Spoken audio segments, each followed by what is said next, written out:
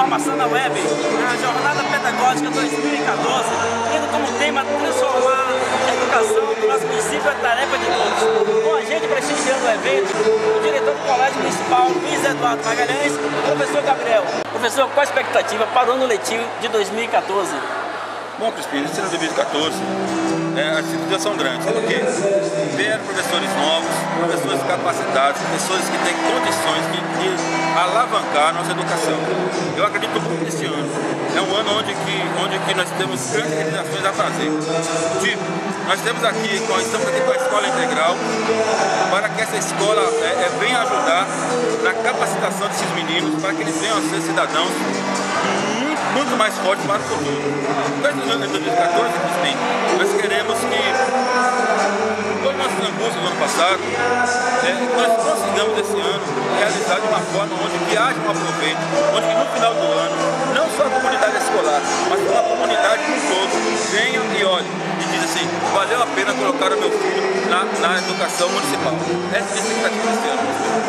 Qual é a mensagem que o professor deixa para os professores? A minha mensagem é que eles realmente cheguem, e cheguem chegando, para que é, nós façamos a diferença na educação novos a Terezinha. Eu quero é isso. Eu quero que esses professores que estão chegando atual, que esses novos estão chegando, façam a diferença. Façam que nós realmente tenhamos assim um prazer no final do ano dizer assim, valeu a pena, nós temos professores. Essa é a mensagem que a gente para eles. Que sejam bem-vindos. Professor, qual a expectativa para, para este ano de 2014? A expectativa é muito boa. Possamos que podemos é, trabalharmos junto, não só a escola, mas também com a família, para que podemos fazer da educação uma coisa boa na vida de cada cidadão. Qual a mensagem que o professor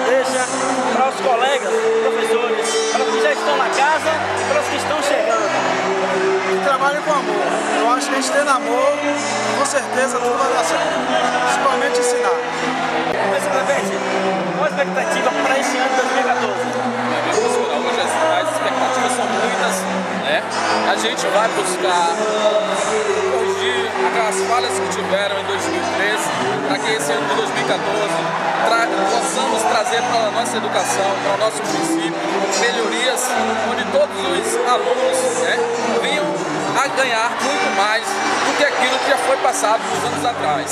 Para os professores que estão chegando aí, futuros educadores do nosso município, a gente conta com eles e, espera que eles tragam muita, muita, muitas realizações para que, que, o nosso ensino, com certeza, venha melhorar mais e mais. Com a gente, professor Reginaldo, a expectativa, professor, para o ano de 2014? As melhores possíveis. Que, é, nós acreditamos, né, como tema da, da, é transformar a educação do nosso município ao dever de todos nós, né? nós professores, é, gestores, estudantes, família em geral.